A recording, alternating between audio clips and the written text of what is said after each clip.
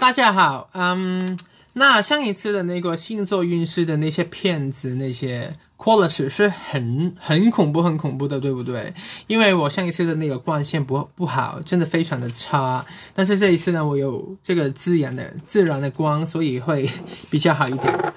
好吗？那呃，现在狮子座的朋友们，呃，如果你是上升还是呃。太阳星座是狮子座的话，在这一段时期里边，就是从这一次的这个双子座满月，直到下一次的那个摩摩摩羯座的那个新月，就是我下一次出这个星座运势之前呢，也就是说，在现在直到农历的十一十一月尾之前呢，你们的状况会怎么样呢？那其实跟上一期的那个。Message 是就是一模一样的，就是说你们会有那个财困的状况。那这个财呢，其实在我们西呃西洋的那个嗯，就是玄学方面，OK 啊，不是玄学，是玄学，对吧？玄学的方面呢，其实它不不一定是我们说的那个钱，它还还它还可以讲，就是我们的时间。我们的金钱，当然还有我们身体的那个精力，OK？那其实就是说，你你在这三方面的那个资源也是很坏很坏的，那所以会令到你，如果你有你有去玩，去跟大家去见面，去呃开 party 的那些机会呢，你也会去散思啊，其实我有没有钱去这个派对呢？我有没有这个时间？我有没有这个精力去这个派对呢？可能。你已经 年年纪很老大了，你你已经不可以就是不不睡觉去晚通宵，所所以呢，你就会有很多的那些呃想法，会有很多的犹豫。OK，那我们看看那个星星是发生什么事？因为呃，你的这是太阳是你的公主星嘛，它在五宫，还有你的二宫的主星水星也在五宫，所以就是说你。你会有很多就是晚了的机会，那尤其是因为现在就是圣圣诞节已经临近了，对吧？还有就是很快就就会新年，所以呢，就是会有很多去嗯 happy 的机会。但是呢，因为金土合，OK，伴随着一个满月，金土合在你的六宫，所以是一个很尴尬、很尴尬、很尴尬的位置。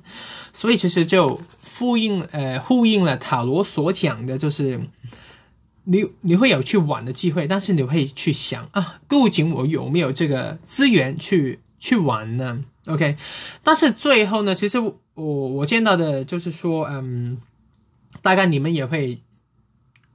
继续去玩吧，因为你们狮子座的有一个理念，就是说欠尽散尽还复来，是不是这样子读？对，就是李白的那首那那一句很很著名的那一句，就是，哎，你现在觉得，哎，我我就是这一期我花花这个钱去，呃，去玩了，那这个钱这个钱我我以后也可以赚回来的，或者说，哎，呃，我现在就是我身体不好，但是我也我也要去玩，因为我最后，呃，就是我后来我睡多一点呢，我什么什么也可以。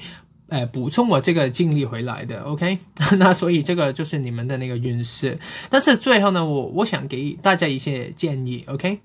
第一，呃，第一个就是说呢，如果你们真的没有钱去玩了的话，我也是，我还是建议你们去玩的，但是要有多一点的目的，呃，这个那个目的性，目的呃目的性，就是说呢，嗯，去玩的时候去跟。一些可以帮助你的人去玩，就是不要只是去呃吃喝玩乐，去嘻嘻哈哈，不要。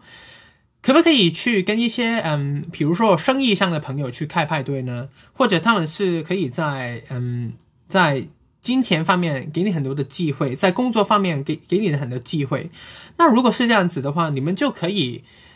又一边玩，那一边去呃。发展的一些钱的机会，对不对？那第二个呢，就是你们其实是有贵人的，呃，尤其是呃巨蟹座。那如果不是巨蟹座的话，就是说他会很有母性，很有那些母爱，尤其是嗯女人的话，也是你的贵人。那你们可以多一点注意了。